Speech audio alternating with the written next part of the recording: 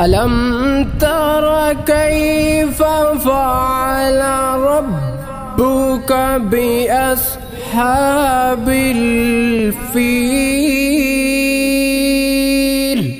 ألم يجعل كيدهم في توليل